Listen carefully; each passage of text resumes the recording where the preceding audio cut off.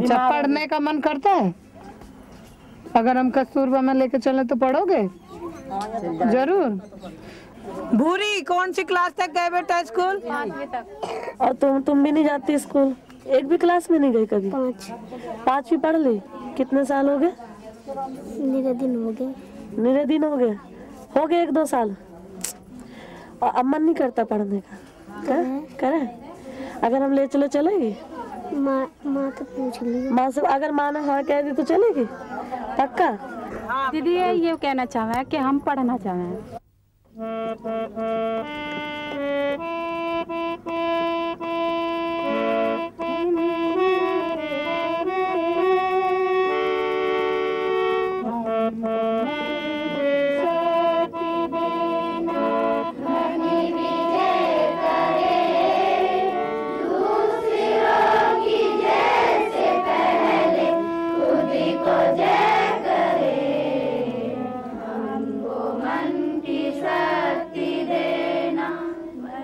कस्तूरबा गांधी बालिका विद्यालय सहारनपुर में। ये वे ग्रामीण क्षेत्रों की बालिकाएँ हैं जिन्होंने कक्षा पाँच पास करके या कक्षा आठ पास करने के पहले ही पढ़ाई छोड़ दी थी। हज़ारों इंजीनियरिंग छात्रों की फ़ीस फंसी। निजी कॉलेजों का अड़ियल रवैया अब प्रवेश प्रक्रिया के बाद ही ली जाएगी फ़ीस। जूनियर वर्ग में इन बालिकाओं को ग्रामीण क्षेत्रों से इस आवासीय बालिका विद्यालय में लाने के लिए अथक प्रयास किए गए हैं।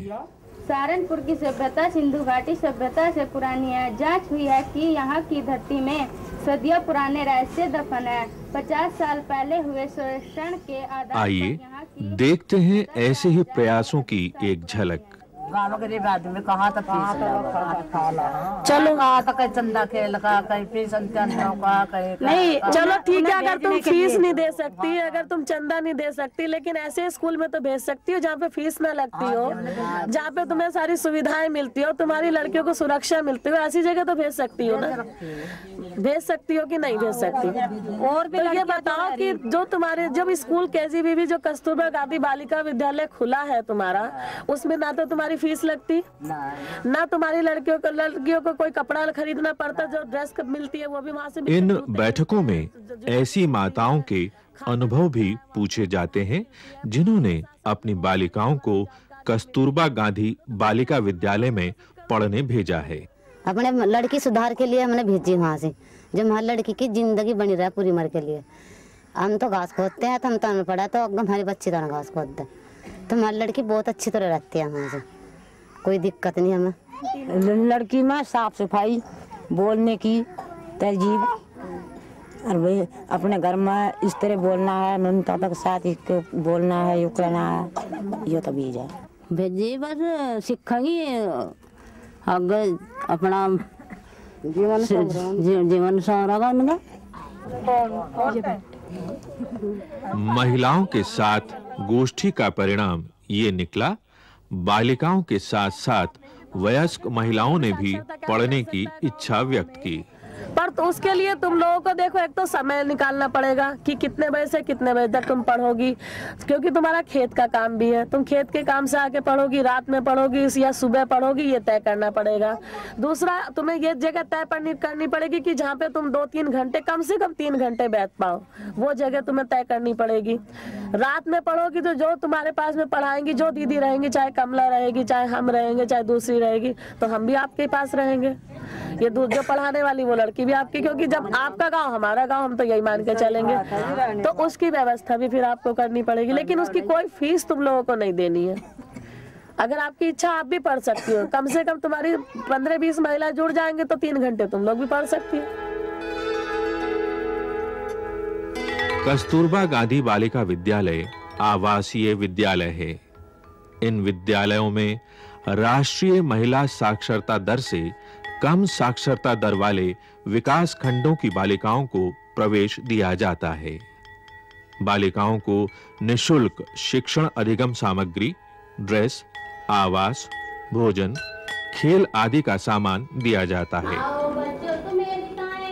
इन विद्यालयों में प्रवेश के लिए हाउस होल्ड सर्वे द्वारा अनुसूचित जाति अनुसूचित जनजाति पिछड़ी जाति अल्पसंख्यक समुदाय घुमंतु परिवार, अनाथ, कामकाजी और गरीबी रेखा के नीचे जीवन यापन करने वाले परिवारों की बालिकाओं को वरीयता दी जाती है। हमने उत्तर प्रदेश के सहारनपुर जनपद में महिला समाख्या उत्तर प्रदेश द्वारा चलाए जा रहे कस्तूरबा गांधी बालिका विद्यालय की गतिविधियों को देखा। बालिकाओं की दिनचर्या सवेरे से रात तक निर्धारित है। बालिकाएँ सवेरे पाँच बजे उठती हैं और रात को दस बजे सोती हैं। सवेरे बालिकाओं की उठने की शुरुआत एक अलग ढंग से होती है। देखते हैं वे कैसे उठती हैं।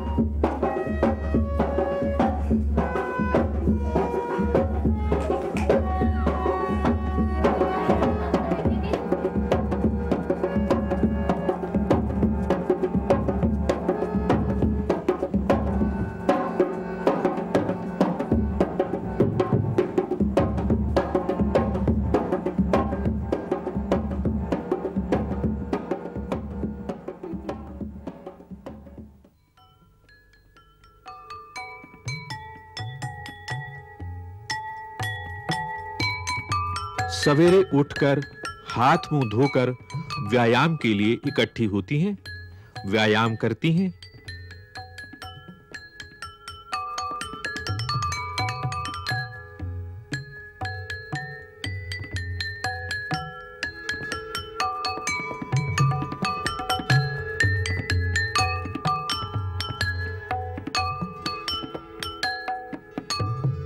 व्यायाम के बाद नहा धोकर नाश्ता करती हैं।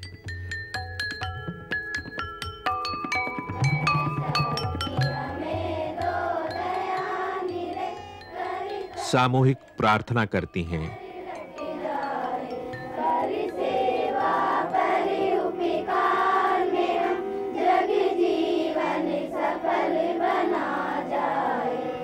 इस छड़ की लंबाई को हम किन किन वस्तुओं के द्वारा माप सकते हैं? प्रार्थना के बाद अपनी अपनी कक्षाओं में जाकर पढ़ती हैं। बालिकाओं की कक्षाएँ क्रियाकलापों पर आधारित होती हैं। देखते हैं एक कक्षा का दृश्य। और बताइए। हाँ आप बताइए।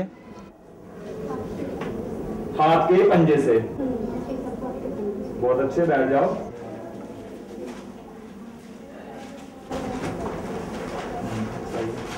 सवेरे 8 से 12 बजे तक कक्षा शिक्षण चलता है।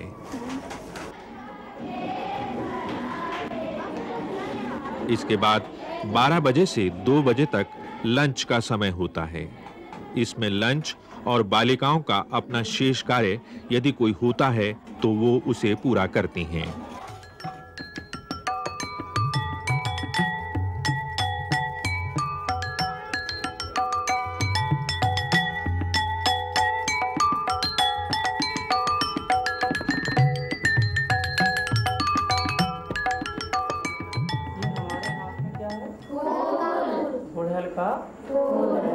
दोपहर दो बजे से चार बजे तक बालिकाओं की कक्षाएँ चलती हैं।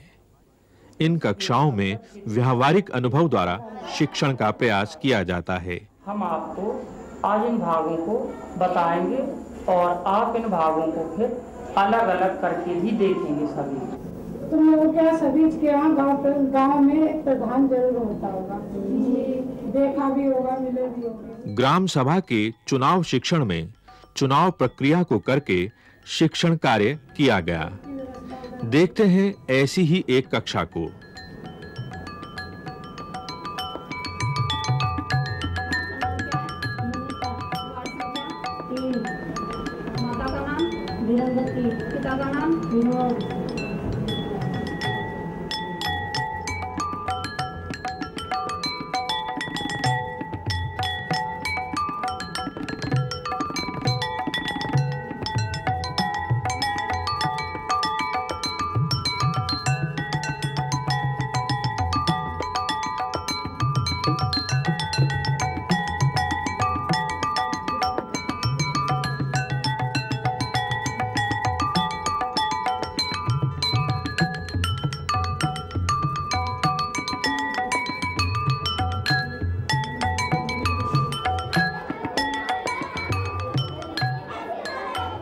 कक्षा शिक्षण के बाद साढ़े छह बजे से आठ बजे तक का समय होता है, जिसमें बालिकाएँ स्वयं या अपने शिक्षकों की देखरेख में अनेक कार्य करती हैं, जैसे रंगोली बनाना।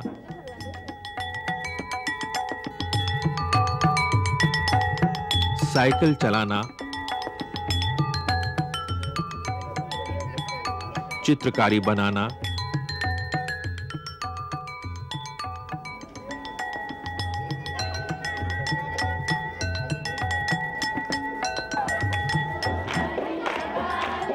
सांस्कृतिक कार्य करना।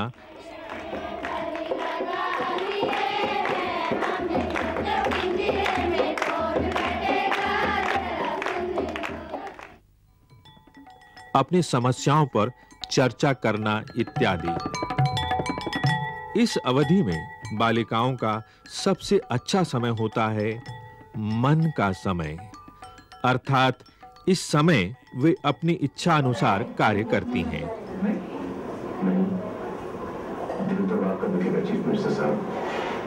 और शायद भी पड़ जाए। क्योंकि इसकी एक कॉपी सेंट्रल होम मिनिस्ट्री तेरे माफिया पाप बच नहीं पाएँगे। सफ़र सुपारी के तले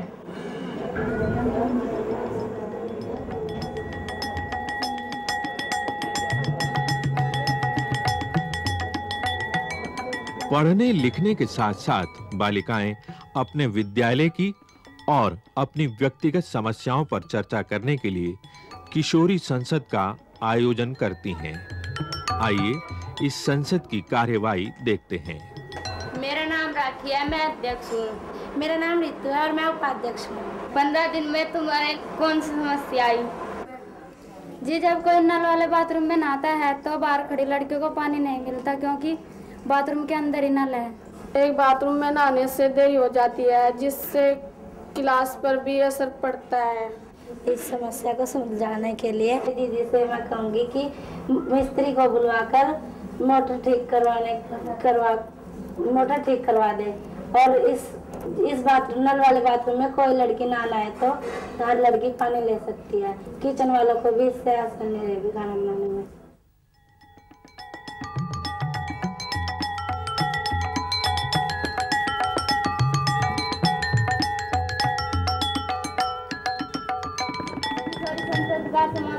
किशोरी संसद या अन्य किसी भी बैठक के बाद बालिकाएँ प्रेरणादायक एवं उत्साह के गीत गाती हैं।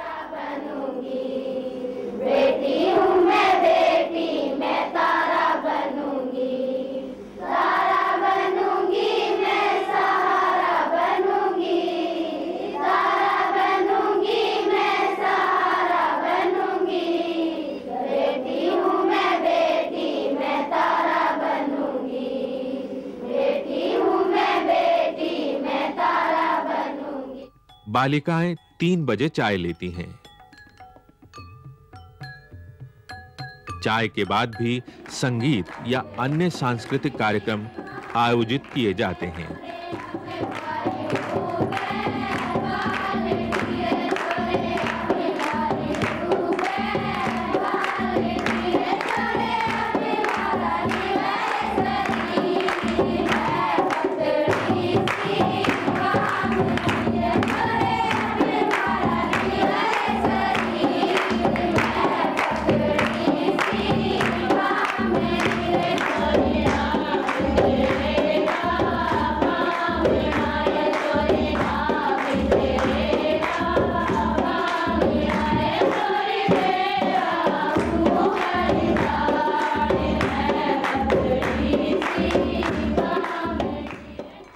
खाली समय में बालिकाएँ रंगोली बनाने जैसे सृजनात्मक कार्य करती हैं।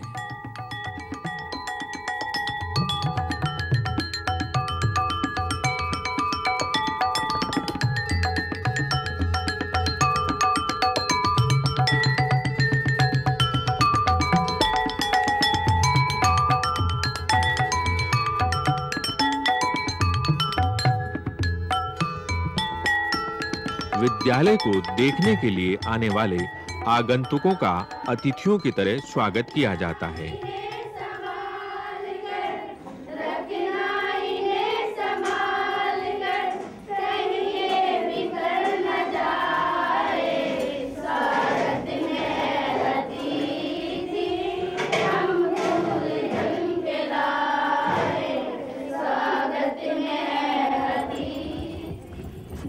अच्छे स्वास्थ्य और आत्मरक्षा के लिए पीटी, व्यायाम और जूडो कराटे का भी अभ्यास कराया जाता है।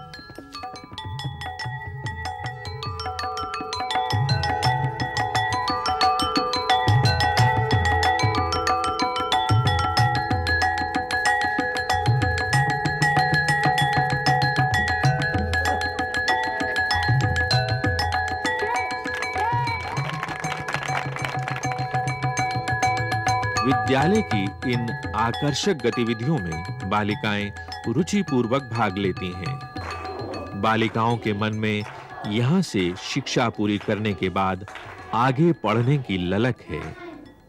उन्हें डर है। जब हम यहाँ से आठवीं पास करके जाएँगे तो हमारे मम्मी पापा हमको पढ़ाएँगे नहीं, हमें घर पर ही रख लेंगे। इसलिए हम आपसे निवेदन करते हैं कि ये स्कूल और भी आगे बढ़ा दिया जाए। हम इस स्कूल को आगे बढ़वाने के लिए एक एप्लीकेशन लिखेंगे। उस पर सब बच्चों के साइन करवाकर दीदी को देंगे ताकि दीदी अपने अधिकारियों से इसके बारे में बात कर सकें। इन बालिकाओं का मन कस्तूरबा गांधी बालिका विद्यालय में बहुत लगता है।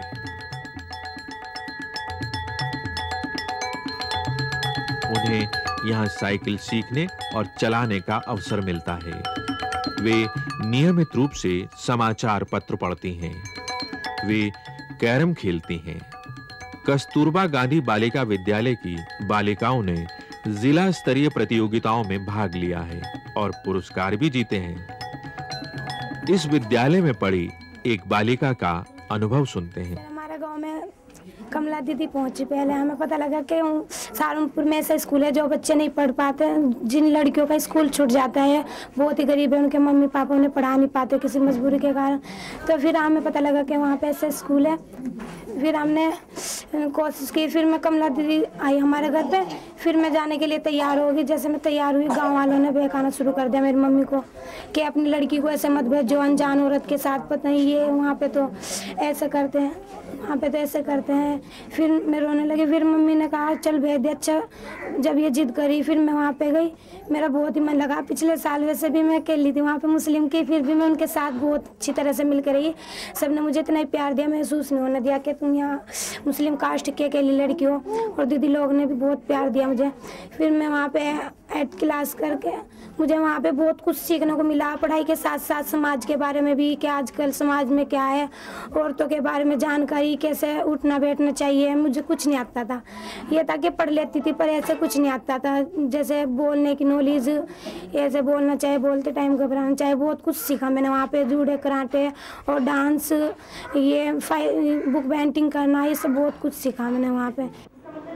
कस्तूरबा गांधी बालिका विद्यालय ने ड्रॉप आउट बालिकाओं को शिक्षा प्राप्त करने का एक और अवसर प्रदान किया है। इन विद्यालयों में, सामान्य विद्यालयों से अधिक आवासीय रूप में बालिकाओं की पढ़ाई, उनकी रुचियों को विकसित करने और उनकी सृजनात्मकता को बढ़ाने का प्रयास किया जाता है।